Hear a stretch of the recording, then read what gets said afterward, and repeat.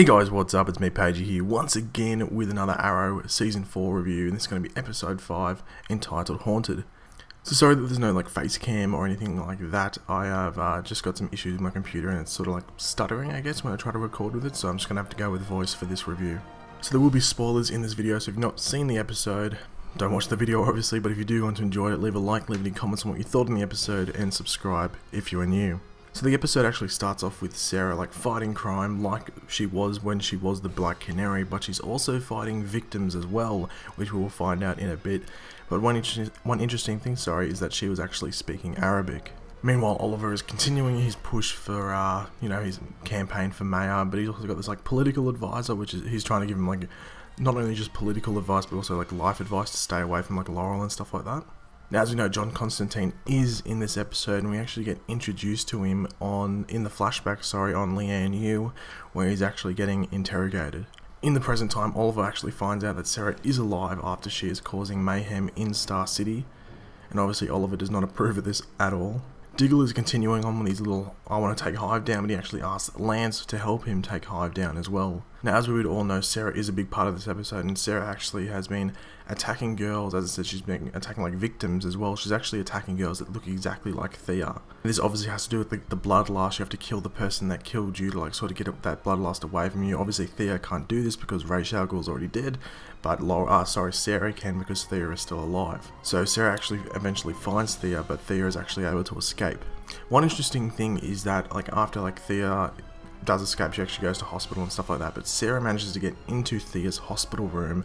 But did Laurel let her in? Because it honestly looked like, and Laurel was acting a really suspect. They didn't really make it unbelievably notable in the show. But to me, it seemed like Laurel did, and it might appear in like a later episode or something. I don't know. They might just brush over it. But I found it pretty interesting that Sara was able to get into her room. But uh, yeah, it was pretty interesting. Now, Thea is actually used as bait to lure Sara into a trap where she's actually uh, tranquilized, sorry, and then Constantine is called upon in the present time to attempt to bring back her soul. Now, Constantine performs this like ritual with, uh, along with Oliver and Laurel, sorry, they're taken to like this after. I'm gonna call it the afterlife. Um, people might call it like another realm, but I'm gonna call it the afterlife, and they go there to retrieve Sara's soul. Now, after this, Constantine is leaving, obviously, but he does say something because Oliver does mention Damien Darhk, and Constantine knows that name, and Constantine warns Oliver of how dangerous he can be, that whatever he saw in that afterlife, whatever Damien Darhk can do is 10 times worse. So it's going to be really interesting to see what Damien Darhk can do, because we have not seen the, like, even a percentage of what his powers could be, so it's going to be really interesting to see what he can do. Now we also find out that Diggle's brother was actually assassinated because he was being, uh, well, as they say in the show, an eager beaver towards uh, certain drug operations, and Lance gives Diggle all this information on why his brother was killed.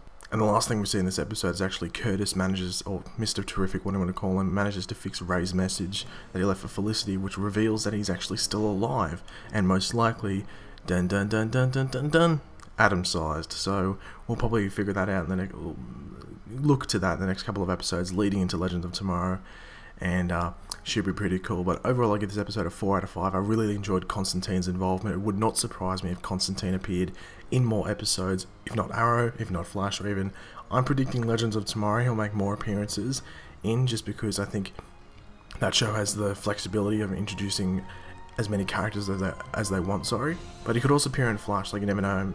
They sometimes cross over, like Barry might have an issue that might involve needing Constantine, Oliver's like, yo, I know a dude, don't worry. But anyway, leave your opinions in the comment section below. What did you think of this episode? I really enjoyed it. Leave a like if you enjoyed the video and subscribe if you are new. I'll catch you later, guys. Goodbye.